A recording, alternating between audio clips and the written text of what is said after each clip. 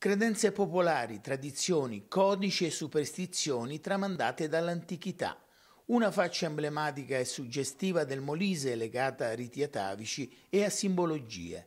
Argomenti sviscerati nell'interessante convegno organizzato al Musec di Sernia, scrigno prezioso di costumi, monili e oggetti che meglio di qualsiasi scritto lasciano testimonianze tangibili di un passato ricco di storia ed arte. Questa è un po' la missione che il museo si è data, che non è soltanto conservativa, sia pure quella rimane un fatto molto importante ovviamente, la conservazione di reperti ma soprattutto la conservazione di memorie. E quindi lo spunto del costume è, è, è un, dà adito veramente a, a, mille possibilità di aprire proprio un discorso, di intavolare degli, degli incontri sulle tradizioni popolari in genere, su questo enorme bagaglio che è la nostra cultura popolare che oramai sì, alcune cose si vanno eh, perdendo alla memoria. Il museo è il luogo in cui farla ritrovare a noi stessi. L'incontro proposto sabato pomeriggio, rivolto all'appassionata platea, ha trattato in lungo e largo i temi relativi ai comportamenti popolari nei frangenti degli eventi luttuosi non del tutto scomparsi in alcune zone della regione dove certamente hanno perso quella valenza originaria soprattutto nelle nuove generazioni. Ma, ritornando al passato, non vi era famiglia che nel giorno della ricorrenza dei morti non mettesse in atto dei veri e propri rituali, anche in cucina. Si facevano dei piatti un pochino diversi, legati ai legumi perché sono simbolo della rinascita e quindi sagna e fagioli o sagna e, e altri legumi era il piatto piuttosto tipico.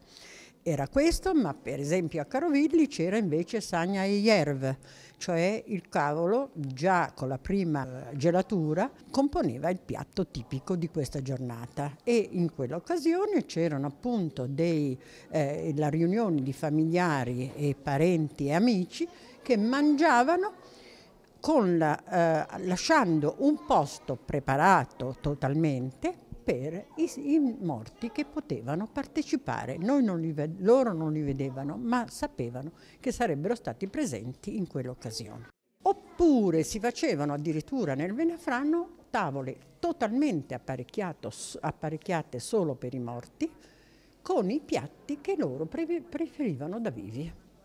Spesse volte non si lasciavano le posate perché se colui che apparecchiava sapeva di, aver, di essere andato contro la volontà del defunto, poteva il defunto vendicarsi con un oggetto contundente nei suoi confronti. Nella civiltà contadina il costume nunziale era l'abito più bello che una donna potesse indossare nella sua vita oltre al matrimonio, veniva indossato in occasione del battesimo del primo figlio maschio, ai matrimoni dei parenti più stretti e sul letto di morte. Perché oltre a voler eh, apparire bella agli occhi di Dio nel giorno del trapasso, eh, nella cultura popolare si pensava che l'abito nuziale indossato proprio in occasione delle nozze, eh, siccome era venuto a contatto con il sacro, avesse addirittura la facoltà di far ritornare la donna, anche se anziana, nelle stesse condizioni fisiche e sentimentali del giorno del matrimonio e quindi ricongiungersi così al proprio istinto. E il lutto come veniva gestito? Beh, diciamo che la donna, come rimaneva vedova, eh, la tradizione le imponeva eh, l'uso del, del, lutto.